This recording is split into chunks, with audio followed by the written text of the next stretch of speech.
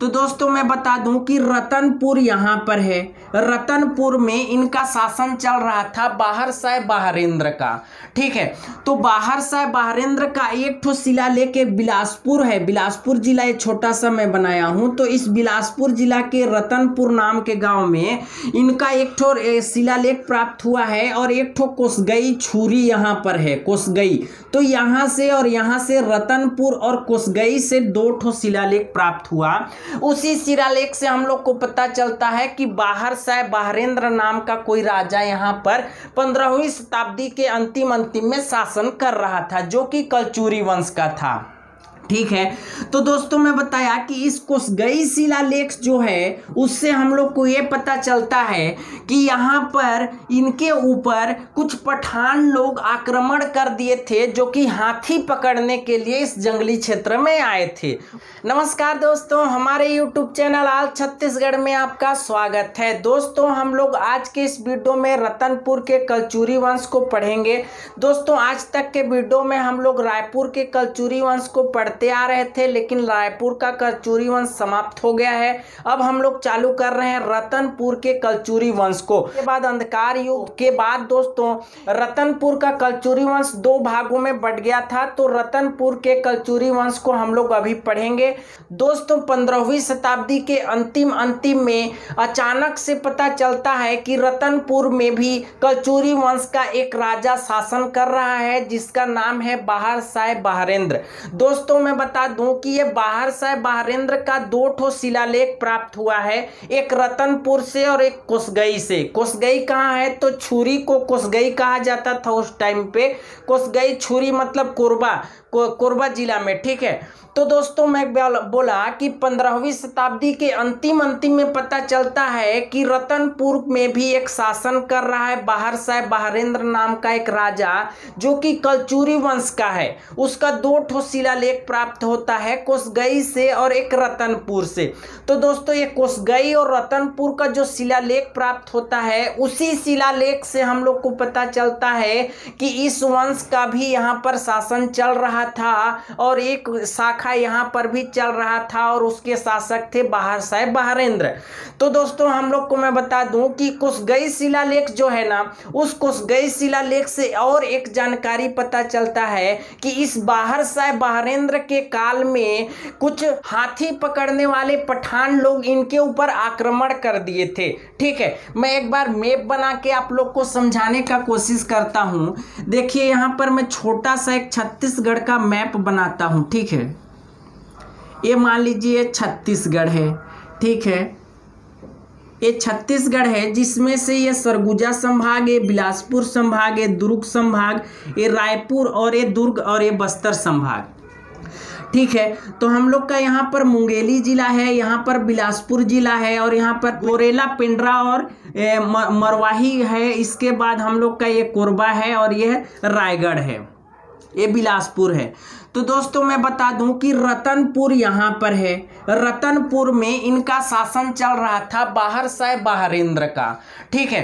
तो बाहर साहब बहरेंद्र का एक ठो शिलालेख एक बिलासपुर है। बिलासपुर जिला एक छोटा सा मैं बनाया हूँ। तो इस बिलासपुर जिला के रतनपुर नाम के गाँव में इनका एक ठो शिलालेख प्राप्त हुआ है और एक ठो कोसगई छुरी यहाँ पर है, कोसगई। तो यहाँ से और यहाँ से रतनपुर और कोसगई से दो ठो शिलालेख प्राप्त हुआ। उसी शिलालेख से हम लोग को पता चलता है कि बाहर साहब बाहरेंद्र नाम का कोई राजा यहाँ पर पंद्रहवीं शताब्दी के अंतिम अंतिम में शासन कर रहा था, जो कि कलचूरी वंश का था। ठीक है? तो दोस्तों, मैं बताया कि इस कोसगई शिलालेख जो है, उससे हम लोग को ये पता चलता है कि यहाँ पर इनके ऊपर कुछ पठान लोग आक्रमण कर दिए थे, जो कि हाथी पकड़ने के लिए इस जंगली क्षेत्र में आए थे। उन लोग इनके ऊपर आक्रमण कर दिए थे पठान लोग। तो दोस्तों, इसके कारण से कोसगई में इनका एक किला था। उस किला में जाकर छुपना पड़ा था इनको। बाहर साहब बहरेंद्र को मतलब कि किला को उस समय दुर्ग भी कहा जाता था। तो उस दुर्ग में जाकर, कोसगई में जाकर, छुरी में जाकर इनको छुपना पड़ा था यहाँ पर। ठीक है? तो देखिए, लेकिन लास्ट लास्ट तक ना ये बाहर साहब, बहरेंद्र जो थे, वो पठान लोग को हराकर और उनको खदेड़ दिया था। एक तो यहाँ पर नदी है दोस्तों, सोन नदी। ऐसे करके प्रवाहित हुआ है यहाँ से अमरकंटक से निकलता है। तो इस अमरकंटक से जो सोन नदी निकलता है, इस सोन नदी के बाहर तक उनको खदेड़ दिया था, सोन नदी के इस पार कर दिया था। मतलब छत्तीसगढ़ से दक्षिण कौशल से एकदम बाहर उनको खदेड़ दिया था, किसको? पठान लोग को कौन बाहर साहब बहरेंद्र। ठीक है, इतना समझ गए। इसके बाद में बता दूँ दोस्तों, बाहर साहब बहरेंद्र जो थे, वो चैतुरगढ़ में किला का निर्माण करवाए थे। चैतुरगढ़ कोरबा में ही है, इस आसपास है कोरबा में चैतुरगढ़। तो उस चैतुरगढ़ में किला का निर्माण कौन करवाया था? तो बाहर साहब बहरेंद्र ने करवाया था। और एक जगह है लाफागढ़। यहीं पर कोरबा में ही है, इस कोरबा में ही लाफागढ़ एक जगह है। तो उस लाफागढ़ में महिषासुर मर्दनी माता, महिषासुर मर्दनी का एक मंदिर निर्माण करवाया था। ठीक है, किसने बाहर साहब बहरेंद्र ने लाफागढ़ में क्या करवाया था? लाफागढ़ में महिषासुर मर्दनी का एक मंदिर बनवाया था। ठीक है? और कोसगई में कोषागार का निर्माण करवाया था। यहाँ पर कोसगई है कोरबा जिला में ही वहाँ पर कोषागार का निर्माण करवाया था बाहर साहेब बहरेंद्र ने। और दोस्तों मैं बता दूँ कि ये बिलासपुर जिला के रतनपुर नाम के गाँव में महामाया मंदिर का मन, माँ महामाया का मंदिर है। उस माँ महामाया के मंदिर के बगल में एक ठो सभागृह है। उस सभागृह का जीर्णोद्धार भी यही करवाए थे बाहर सिंह हरेंद्र ठीक है? चलिए, आगे बढ़ते हैं। इसके बाद मैं बता दूँ दोस्तों कि वीर नारायण सिंह के पूर्वज, आप लोग जानते होंगे, पहला शहीद वीर नारायण सिंह, ठीक है? उनके पूर्वजों को सैन्य कार्य करने के लिए उन्होंने सोना खान के जमींदारी को, उनको गिफ्ट कर दिया था। सोना खान की जमींदारी कहाँ थी? तो जांजगीर चांपा में थी। सोना खान की जमींदारी, उनको इस सोना खान की जमींदारी को दे दिया था किसको? वीर नारायण सिंह के पूर्वजों को। कौन दे दिया था? बहरेंद्र साय ने दे दिया था। ठीक है, अब दोस्तों बहरेंद्र साय के बारे में इतनी जानकारी मिलती है। अब अगला शासक आते हैं रतनपुर के कलचूरी वंश में। अगला शासक आते हैं कल्याण सिंह। ठीक है तो हम लोग अब कल्याण सिंह के बारे में पढ़ेंगे। दोस्तों सबसे पहली बात तो कल्याण सिंह कौन थे? तो बाहर सिंह बहरेंद्र के पुत्र थे कल्याण सिंह। ठीक है? तो कल्याण सिंह का कार्यकाल था दोस्तों, कल्याण साय, ठीक है? कल्याण साय या फिर कल्याण सिंह। तो कल्याण सिंह का कार्यकाल था 1544 से 1581 ईस्वी तक। कल्याण सिंह का कार्यकाल था 1544 से लेकर 1581 ईस्वी तक।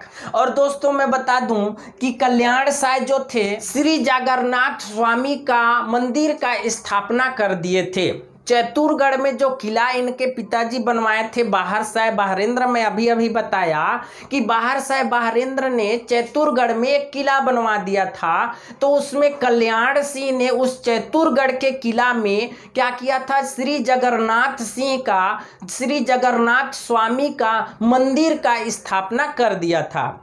ठीक है, देखिए, अब कल्याण सिंह के बारे में कई विद्वानों का ये मतभेद है कि यही कल्याण सिंह जो थे, वो मुगल सम्राट अकबर के दरबारी दरबार में जाकर आठ साल रहे थे और उनके समकालीन शासन कर रहे थे। मैं क्या बोला कि कल्याण साय के बारे में कई विद्वानों के बीच में मतभेद है कि अकबर के दरबार में आठ साल जाकर यह कल्याण साय जाकर छत्तीसगढ़ से दिल्ली में वहाँ पर रहे थे। मुगल साम्राज्य में। ठीक है? लेकिन दोस्तों, एक दिक्कत और है इसमें कि ये तुजुके जहांगीर एक बुक है। ठीक है? जहांगीर का, तुजुके जहांगीर एक बुक है और कल्याण सिंह का एक वीर गाथा है, जिसका नाम है दोस्तों, गोपल्ला गीत। कल्याण सिंह के गोपल्ला गीत और तुजुके जहांगीर से यह पता चलता है कि ये जहांगीर के दरबार में आठ साल थे। और जहांगीर के समकालीन थे, न कि अकबर के समकालीन। अब देखिए, तुजुके जहांगीर में साफ़ साफ़ लिखा हुआ है कि आज शनिवार, पच्चीसवां खुर्दाद मेरे भाग्यशाली पुत्र परवेज इलाहाबाद से आया और अपने साथ रतनपुर के कल्याण सिंह को लेकर आया, जिसके विरुद्ध मेरे पुत्र परवेज ने सैनिक भेजा था। तो कल्याण सिंह ने नजराने के रूप में अस्सी ठो हाथी और एक लाख रुपया भेंट किया। तो दोस्तों, इससे एकदम स्पष्ट होता है कि परवेज हो सकता है कि छत्तीसगढ़ में युद्ध किए होंगे। ऐसा कहीं लिखा नहीं मिलता है कि जहांगीर के पुत्र जो परवेज थे, वो यहाँ पर आक्रमण किए थे। इससे इस लिखावट से स्पष्ट होता है कि परवेज जो थे, जो जहांगीर के पुत्र थे, वो यहाँ पर आक्रमण किए होंगे होंगे और हमारे कल्याण सिंह जो राजा थे, उनको हराए होंगे और उनको पकड़ कर ले गए होंगे वहाँ पर मुगल साम्राज्य में। और दोस्तों, वहाँ पर कल्याण सिंह अस्सी ठो हाथी और एक लाख रुपया देते हैं और मुक्ति पाते हैं, ऐसा मिलता है। और दोस्तों, एक बुक का मैं नाम बताया जो कि कल्याण सिंह का है, गोपल्ला गीत। तो उसमें भी हम लोग को जानकारी मिलता है कि ये कल्याण सिंह आठ साल जहांगीर के दरबार में जाकर रहे थे।